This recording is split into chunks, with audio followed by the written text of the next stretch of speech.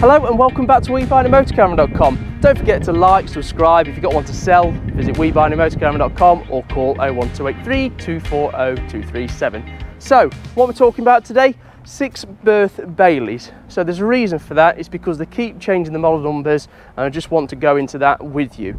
So, here we have the mid one. So this is the Autograph 79-6. It is completely white, as you can see. Uh, the one before that was white with a black cab, which was a 765. That was a little bit shorter, but same layout nonetheless. And this was replaced or has been replaced by the 81-6 which has got a lovely black cab with grey sides. It looks absolutely spot on as do all the autographs. About 15 to 20 centimeters longer so it is over that 8 meters this is just short of unless you put a bike rack on. And that just makes it that little bit longer. So when you're buying one of these there's not too much to look at. They're Alutech chassis so it means they're all aluminium sides and the only place you do want to check the floor or in damp check damp check or anything like that is basically the floor. Wherever you can get to in the cupboards or from underneath and so on. But let me show you around this one. On the rear we do have that reversing camera just up top solar panels you'd expect. All of this is as standard as i'm sure you're aware. So we've also got that garage door there alde heating system so it has got the premium radiators cassette toilet electric hookup and water infill Alloy wheels are standard as well, just really well spec. There's not really much that you can have put on these on top unless you want something like a satellite dome or a bike rack. Let me show you the front. As we go to the front, we have got this Peugeot badge, which is what you'll see on pretty much all of them until you get to 2020, where they bought out the Adamo range, which does come on the Ford. It's a bit more continental in its layouts, and it does come with the automatic option. This does not have the automatic option, which is the only downside to Bailey's, but it does come with the 160 brake horsepower upgraded engine as standard. So at the front we do have a really nice big lounge. So this is what I call a full dinette. So you've got a single bench seat that can seat a couple of people.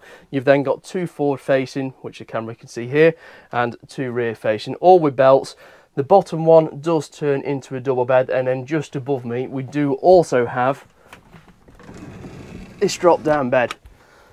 So it's almost like a bunk system is the best way to put it, but there's plenty of room below to be fair. All solid walls, so there's no wood in the walls like I said outside, so it is Alutech, and it just pushes up. And the good thing about it not being electric is there isn't anything to go wrong, so you're good to go on that aspect. So the kitchen itself, you have got this fold-up table, which does give you lots of workspace. Again, there's more in the middle as well, so you're not really struggling compared to what some models do offer. Sink, three hob burner and the hot plate.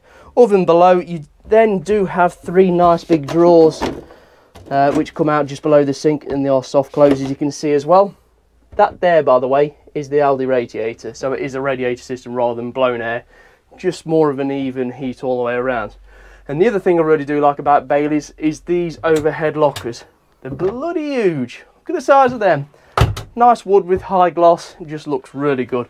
And it matches the size to be fair. So there's no wallpaper or anything like that to get knocked off. It's really user friendly because if you do mark it, it's just a wipe off really. It's like a plastic.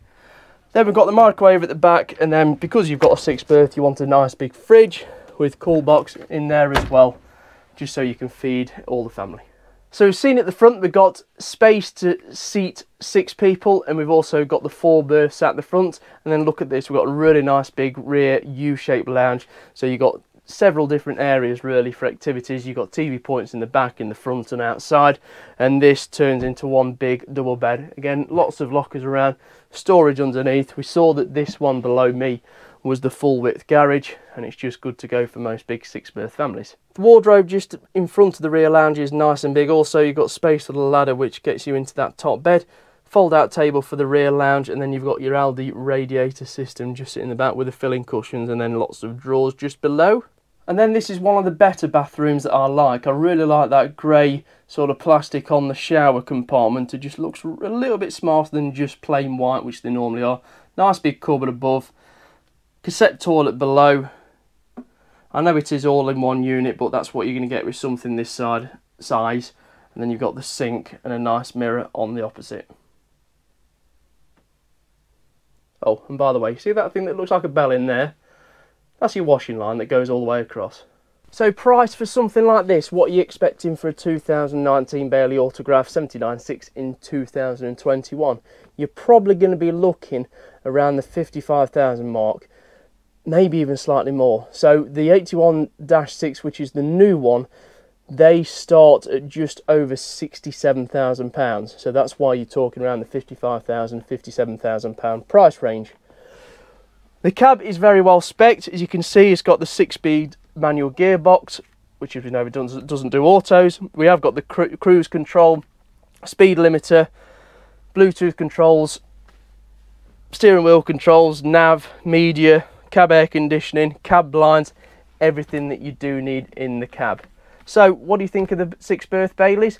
Like and comment below, subscribe, and we'll do a few more of these videos on a bit of a buying guide of what, uh, what motorhomes to look out for. And we'll see you soon.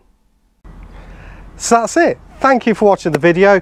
Don't forget to hit the like button, subscribe to the channel. If you've got a motorhome to sell, get in touch. It'll either be myself, Shane or Liam that give you a call back. Thank you again for watching and we'll see you next time.